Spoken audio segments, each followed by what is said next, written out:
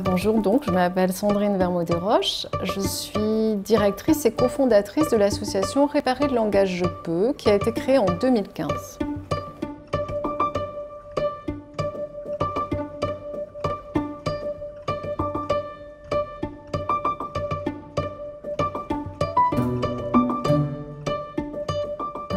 Alors, réparer le langage je peux, je reprendrai la formulation de notre amie Marilène Lafont, c'est repousser les limites. Repousser les limites auprès des adolescents que nous faisons écrire. Nous leur faisons écrire sur une année scolaire un roman collectif qui est ensuite publié et présenté dans un salon du livre. Ce roman est écrit grâce à la présence et à l'accompagnement d'autrices et d'auteurs euh, professionnels. Et ce qui est aussi extrêmement important pour ces jeunes, c'est que ces romans sont présents en librairie.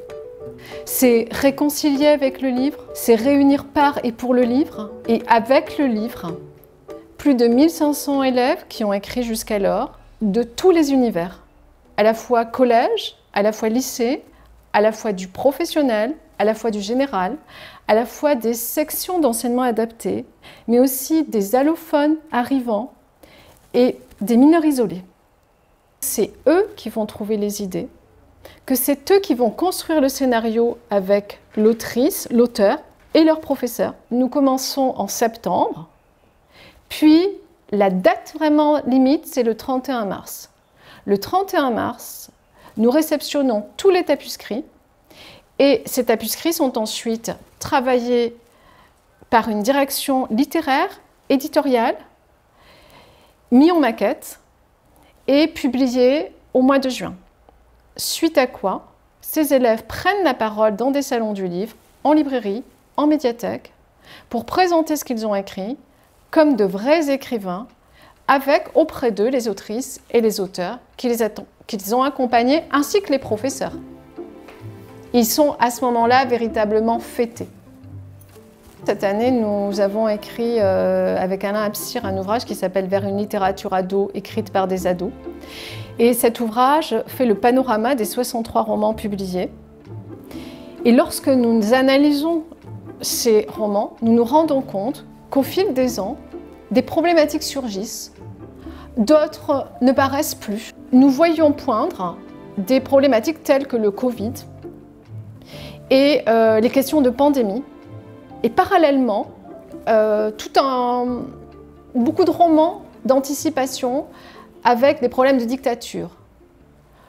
Un roman euh, envisage, en 2040, une société où il est interdit de s'aimer, où hommes et femmes ne peuvent plus vivre ensemble après des pandémies, par exemple.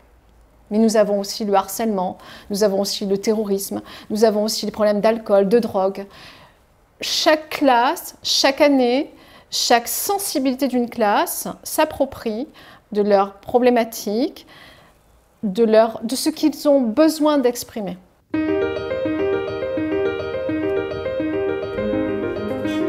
Tout d'abord, je tiens à dire que nous sommes très honorés. Nous sommes très honorés. Euh, nous remercions, je remercie en tant que représentante de l'association La Sofia. Nous sommes honorés parce que ce sont des acteurs de la chaîne du livre qui nous ont primés. Ce sont des auteurs, des autrices, des auteurs, des éditeurs. Et pour nous, c'est une reconnaissance.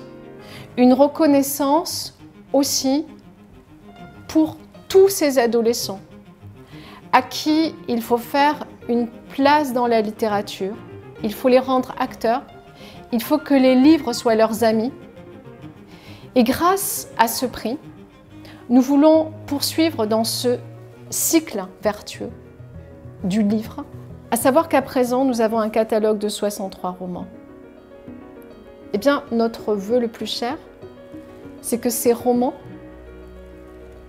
se, comment dirais-je, circulent, aillent entre les mains d'autres adolescents et que nos ados romanciers qui au départ étaient éloignés du livre pouvaient en avoir peur, les mettre de côté ou penser qu'il n'y avait pas droit, soit aussi lus par des ados lecteurs.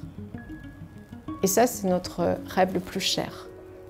Une littérature ado pour des ados, par des ados.